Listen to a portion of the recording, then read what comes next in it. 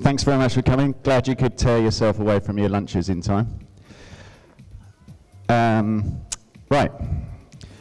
What am I here to talk about? What drives your development? Sorry, this is me. Introduce myself. I'm James. I've, I've worked for ThoughtWorks. I've been working for ThoughtWorks for three and a half years. Before that, I worked in a startup for 10 years. If you haven't heard of ThoughtWorks, here's a marketing slide, which I wouldn't normally spend much time on. We're quite a large company. If you're interested in ThoughtWorks, if you, you might have heard of Martin Fowler, come and talk to me afterwards. And here's some books that some of my colleagues have written down the years In fact, I know a lot of these people. So, what am I going to talk about? Uh, what drives your development?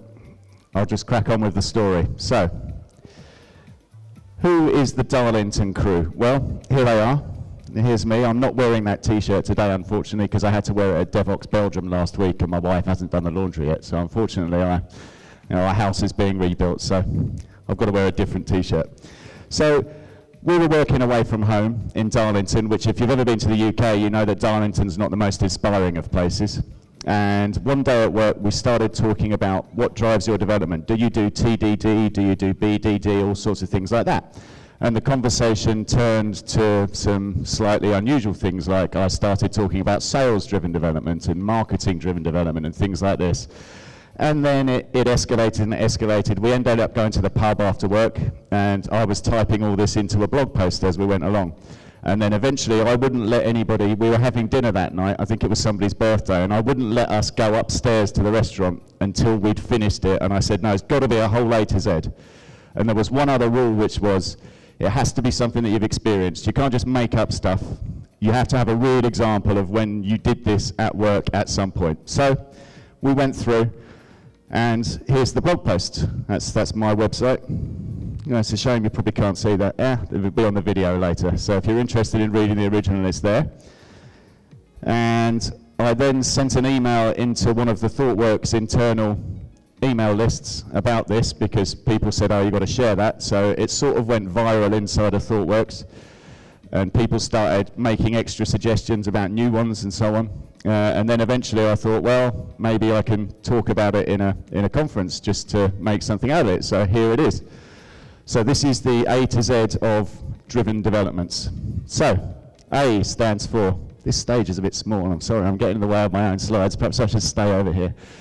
A is AWS development. AWS driven development is when you've recently migrated everything onto AWS and unless the thing is in the AWS marketplace, you can't do it absolutely AWS only.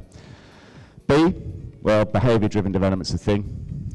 Also, bleeding edge development. This is when everybody in the team refuses to do anything with any technology unless it is brand new.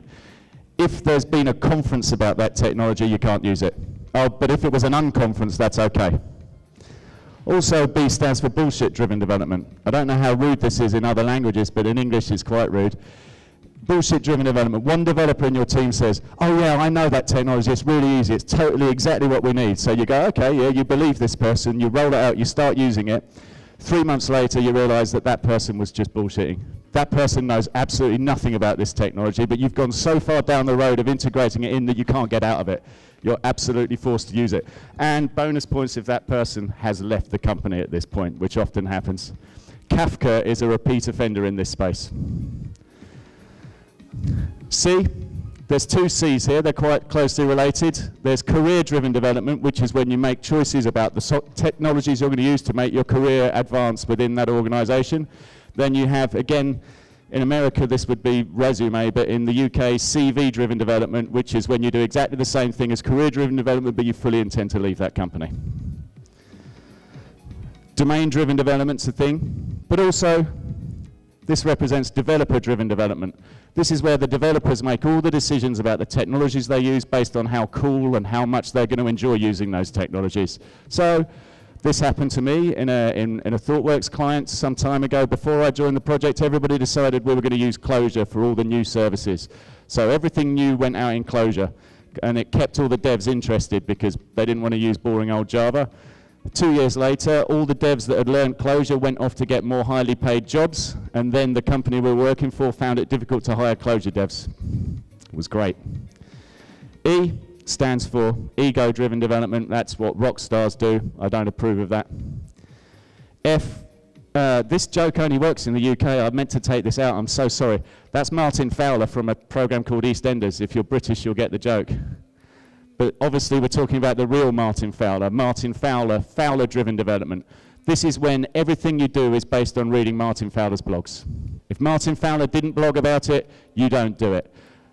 Conversely, when Martin Fowler does blog about it, you change, you pivot, you make sure you're doing it. And you get extra points in this one if you phone up a ThoughtWorks person that you know and ask them their opinion, their interpretation of Martin Fowler's blog post. Because, of course, you know, we talk to him all the time, obviously. yeah. We also have failure-driven development, which is when everything you do is based on the latest production failure. You jump from one failure to the next, you roll it out, you fix it, you roll it out, it comes back, and everything is based on this whack-a-mole game of putting it down there and it pops up there. G, this is Google-driven development, very much like AWS-driven development, but obviously you're going to be using Kubernetes, aren't you?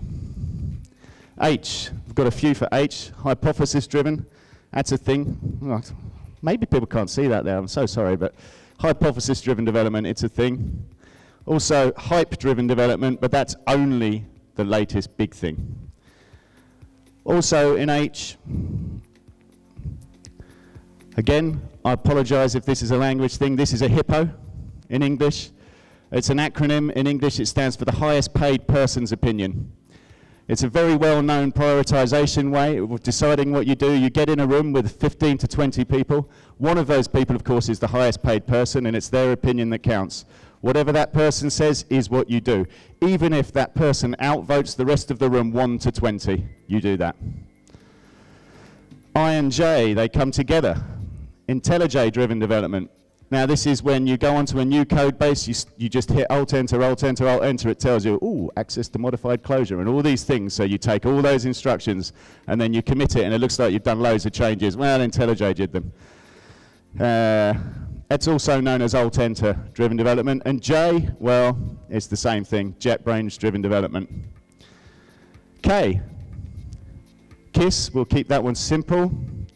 Also, we have Kangaroo driven development kangaroo-driven development, this is where you bounce from one priority to the next because your, your product owner, you either have no product owner or your product owner isn't very good at what they do and is being pulled this way and that. You bounce from this priority to that priority to that priority. You don't really know what your purpose is as a group. L, what a lovely picture that is. This is lifestyle-driven development. Now, I think we've all been involved in arguments, or let's call them discussions, where you spend a long, long time deciding whether you have three spaces or four spaces in your indents at the start of your lines, whether the curly brace should go with the method name or the line below. Those are lifestyle choices. As a tech lead, I don't care. You may end up in edit wars in your, in your Git. Just, I let other people get on with that. That's a lifestyle choice, I don't care. M, what we have is marketing. You might recognize this slide earlier. It's the ThoughtWorks marketing slide. Marketing-driven development. Now this is, and this has happened to me loads, where the marketing department come in and tell you, well, we've got this massive marketing campaign starting on this date. You have to get it done by then. They didn't ask you beforehand, they just went and booked it. So you're totally driven by that. EMS also stands for, written down here is MoSCoW. That's a prioritization method. That's actually quite a good thing. It stands for must, should, could, would. That's a thing. What are we up to? We're up to N. N in English stands for negativity. Negativity driven development is when you start a new product, everybody probably starts off quite happy. But then there's one person in the group who says, no, no, we need to test this, we need to do this, we need to do this, we need to do this. And it's so negative about everything. You write bulletproof tests and bulletproof code, but the whole budget for the whole product goes on the first story, nothing ever goes live. Next to N, fortuitously in the language, is O, which stands for optimism-driven development. This is entirely the opposite. This is where everybody says, no, our code's brilliant. We don't need to test it. We don't need to do that. It'll work. We know it works. It's fine. So it goes live, that product, within a few days, and then it just goes on fire. The world sets on fire, and it ends badly for another reason. P, we have patterns-driven development. Now, that book's actually very good. I recommend it. However, what I don't recommend is when people refuse to write a single line of code before they have argued and argued and argued about what pattern they're going to implement for this. Just start writing it. Get on with it. So as far as I'm concerned, patterns-driven development is an anti-pattern. You also have politics-driven development, which is when the politics in the company dictates what you do as a group.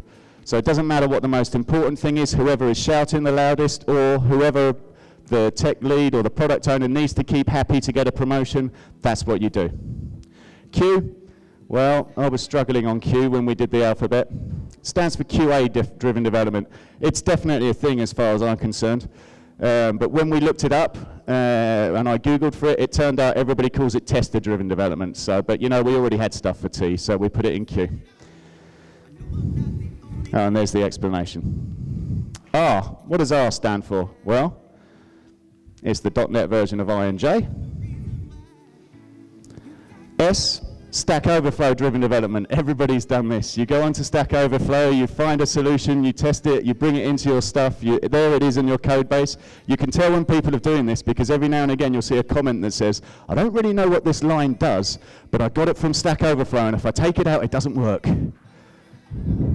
It also stands for sales-driven development, which is very much like marketing-driven development. This happened to me loads when I was working for a startup. Our CEO went out and sold stuff to people, and then he'd come back into the office. He's had this big meeting with this big company. He's made a partnership. He'd come back in and say, "Oh yeah, this is what I sold them. We we have to do this, this, and this. We can do that, right?" And we'd all go, "Oh God." TDD, say no more. You, well. This is underwear-driven development. If you work in a distributed team, what you find is that a lot of people actually just get out of bed in the morning but kind of don't get out of bed. You can tell who's still wearing their pants and hasn't got dressed yet because when you do your stand-up and everybody dials in, they're the ones with the black screen that just say John's iPhone. They're still in their pants. Value-driven development is a thing. Waterfall-driven development used to be a thing, and I sincerely hope people don't do it anymore, but maybe they do. Some people pretend they don't, but they do. I know that much. And there's also Wagile-driven development, which is, oh God. You see this a lot in the UK in, in public sector bodies. They claim to be agile. They're not. I've got a whole talk about that tomorrow. Quick plug. X these two gentlemen are XDs from ThoughtWorks. XD-driven development is a thing where your, your product starts off, and it's a great thing, where the XDs go out and do great research and do a lot of research, do focus funnels, everything like that. You really understand what you're building before it gets going. Um, I can't find much evidence of it, but I've done it on, on one client, and it was fantastic. Why? I ain't going to need that slide. And Z, finally, stands for zealot-driven development, which is there is one person in your team that absolutely drives everybody on. No matter what is going on, that person forces everybody to do it and do it and do it and do it right, which is actually how we managed to get an A to Z done in, in one drinking session. So that's, that's the A to Z. So when we posted this and people started talking about it, actually we started asking this question about what are these things? Do these things make sense? Are they in any way sensible? I think we all agree that TDD is sensible. BDD is probably sensible. Most of these things, you know, a lot of them that we're not explaining dysfunction with are sensible. So we, I decided to, once I put the talk in, I thought, well, I've got to make up some kind of sensible message. I can't just go through an A to Z, which is obviously joking. So here's, here's all the things that I mentioned. Um, I think... Uh, I think there's 40 or 41 of them. And this is the original list that we came up with during the one day. And I thought to myself, well, what, what do they mean? How can I group these things together? So my first idea was this, and I hope everybody can see we've got good ideas in green and bad ideas in red. So how does that end up grouping? Well, you don't need to be able to read these, although that looks like you probably can read them. I won't give you much time to read those because it doesn't really matter. So, okay, I looked at that and thought, all right, fine. So then I thought, okay, what about, because obviously we made some of this stuff up to explain some work, explain some stuff. So what about the real things that you can Google versus the made up stuff? What does this look like? So I grouped them all together again. And if you've got really sharp eyes or you're a mega fast reader, you'll notice that there was a very strong correlation between those two previous slides won't go into the exact detail. And then I thought there's something else going on here, which is I thought that there were three sort of functional groups. There's a load of stuff about how we build things, there's a load of stuff about what stuff to build, and there's a load of stuff about which technologies to use. which I put off to the side. So if we see where everything pops in there, and again, between the green box here and the red box here, there's actually a very strong correlation to the earlier green and red boxes. So, so I thought, okay, all this stuff here about which technologies to use, I think sometimes they're a good idea, sometimes they're a bad idea. So I'm just going to throw those away for this discussion. And then I looked again and I thought, all right, so now, what we got in the top half, let's take all the silly things out of this. So what happens? I think we lose Fowler, we lose Lifestyle, Patterns, and Zealot. So we didn't lose much out of that group. Then, if we look at the what to build stuff, and we take the actual, take the sensible things out of there, what happens? Oh, we only lose two. The only sensible things there are value driven and MoSCoW driven. That's interesting. So, what have we got? We've got loads of sensible ideas about how to build stuff, and loads of frankly crazy, stupid ideas about what it is that we're going to build next. Why? You can see this is a cheap presentation, can't you? So, here's my hypothesis. When it comes to ideas about how to build stuff, we, the developers, the people in this room, we have always been the ones driving those decisions. We're the ones that write the code, we're the ones that live with the code. I think almost all those things that we can do there, TDD especially, behavior driven, they're all invented by developers. We know what we're doing, we know how to build stuff. So leave the developers alone to carry on deciding. You know, product owner's not going to tell you to use TDD, right? That person doesn't, doesn't understand that. On the other hand, when it comes to what we build, I think throughout the history, even in my working lifetime, the last 20, 25 years, we didn't even have product owners 25 years ago.